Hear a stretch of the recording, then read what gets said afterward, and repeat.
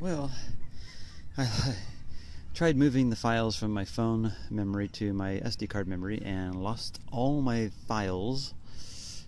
Oh, all my videos for like the last two weeks of hunts. And that really sucks. I'm out today testing. Um, you know, I do run manual, but I've been running. I, I learned that with the CTX, um, I have to run a little bit lower manual uh, for out here to get a better tone. And I kind of played around with 50 conductive and combined, and uh, I have two different patterns. I have a pattern that I used to use, a discriminate pattern that I had with my E-Trac.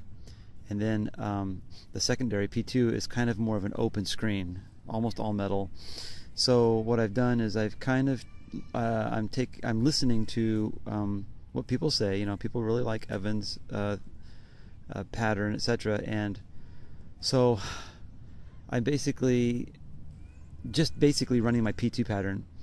Um, so it's mostly all metal. Um, I kind of left the tones the way I wanted them. I left my bends the way I wanted them. I got I just changed them. Um, so there really isn't anything different. The only thing different that I'm running is I've I actually have turned off fast off. So I have fast off and deep off. They're both off, and I'm running an auto sensitivity, which is something you know I don't I don't normally do. So um, I'm testing out uh, uh, some different settings with the uh, more of an open screen, and I am actually running in Ferrous Coin. I don't necessarily think I like Ferrous Coin. I really do like high trash for our area. So maybe in other parts of the country, uh, Ferrous Coin works better. I happened to hit a 1247, 1246, and I thought I was getting a shallow quarter, and I got myself a ring. But I have to, uh, you know, uh, so far since I've I've been in this park, I've actually gridded a lot of this park. This park, um, I found ten silvers in, one half, um, two quarters, and the rest dimes. Um, so I have gridded a lot. I mean, a lot of this parks. And so far, so far I've been here, I, I hit a uh, wheat penny, which is pretty cool but I hit the wheat penny because I think I changed my bend my bend tones. So I noticed that you know, of course, with the deeper deeper targets, you know, sometimes they degrade a little bit in numbers. So I actually dropped my. Oh man, it's got a nice stupid nick in it from the lawnmower right there. That really blows. Um. So, anyways, I changed my uh, bend tones down to uh, like about 37 37 to like 44 is uh, or 43 is one tone. So so now I'm hitting those um, hitting wheat pennies that are a little deeper they're coming up a little higher so it's making me stop a little bit more and look at them bummer it's got a big old crack in it right there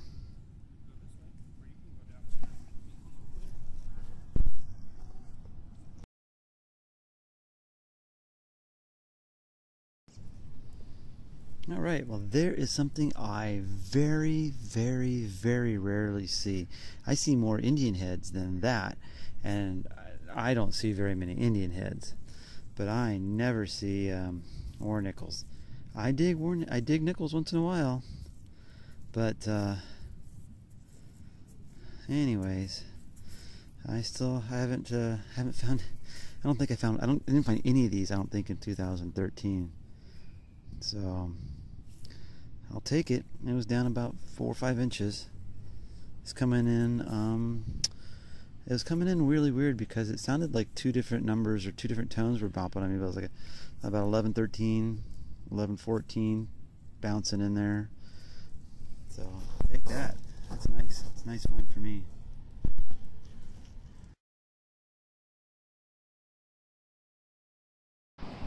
All right. Well, I got silver. I saw silver. Um, I got my earmuffs on because of the really noisy road here. Thought I would, uh, I, you know, it's this little side of this this road here, and uh, with all these old trees. I've never been able to pull silver off on this side.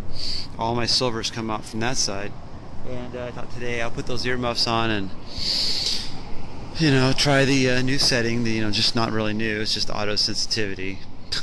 really not new, but it's new for me because I never hunt in auto sensitivity, and. Um, thought I'd, you know, like, if I find silver over there on that side of the backstop, why can't I find silver over on this side of the backstop? Well, I did find silver. Funny thing was, this is a really small signal, and the reason was is it was literally. I, I flipped over my plug. I saw the dime drop. It was like right in here, and dropped straight down to right somewhere right here. And uh,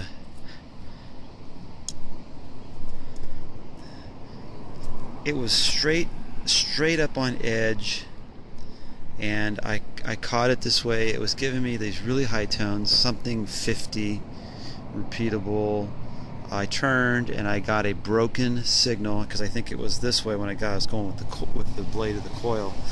And it was uh, coming in like a 1444 but it was broken really choppy and uh, it was repeatable and high and I decided to dig it and I've been getting a lot of iron falsing and uh, yay yay this one wasn't iron falsing so first silver of the day I'm hoping to find a whole bunch more which is uh, not probably gonna happen but I'll take whatever and all that I get. 663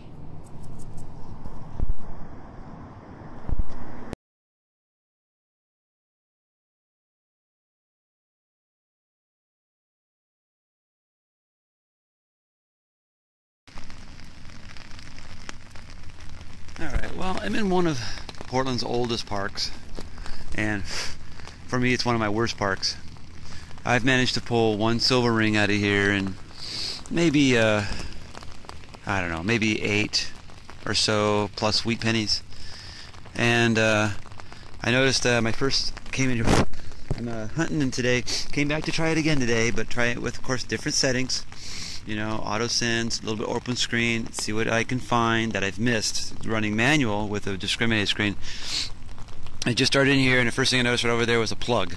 So a recent plug for somebody that's been hunting in here for the last couple days, and I assumed that they probably walked this little area. So the first thing I did is I changed my direction. So instead of walking in one direction, I started doing a diagonal crisscross, and I hit this tone. It was like 1742 and it was really faint. It was seven inches down, and um, I had a hard time picking it up in all the way around, but I was able to finally kind of get a repeatable signal, and um, it's, it's, a wheat penny, so you know it, it, it, pays to change it up a little bit. Uh, of course, you know when you you always go sometimes with the you know, parallel with the the sidewalks or 90 degrees and, you know sometimes just just go a diagonal direction and you might be able to pick up a signal that you weren't able to pick up before. And like I said it's one of the older parks in Portland. So I got a 19 I think 20 something uh, Wheatie and they're old here. So hopefully find some silver. Alright I my plug right there my Wheatie was right there where my foot is. Stood up and scanned over the hole had a uh, nickel tone. Got myself a buffalo nickel. So that's pretty cool. Don't know the year yet. I can't read it probably. But uh, yeah, two old coins. Boom, boom. And right next to the old wading pool. So you know the funny thing is, is when I've uh, since I switched to uh, auto sensitivity, I've probably dug more nickels in the last four hunts. Seriously, more nickels in the last four hunts than I probably have hunted. I've pulled nickels in maybe uh, six months of hunting. Seriously, like last four hunts, I've probably pulled about uh, I don't know 15, 20 nickels, and um, weird.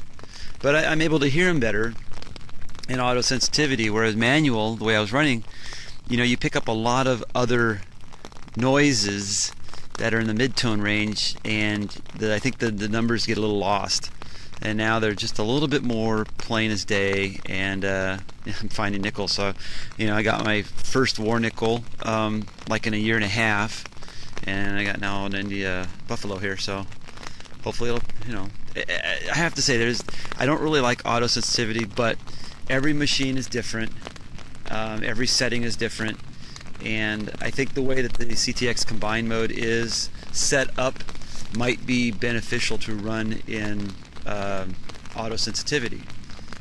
Uh, you're only getting the five tones, but you need to be able to hear you know those five tones. So we'll see what happens. I'm gonna use this uh, AutoSense open screen for a while and see what happens in combine mode.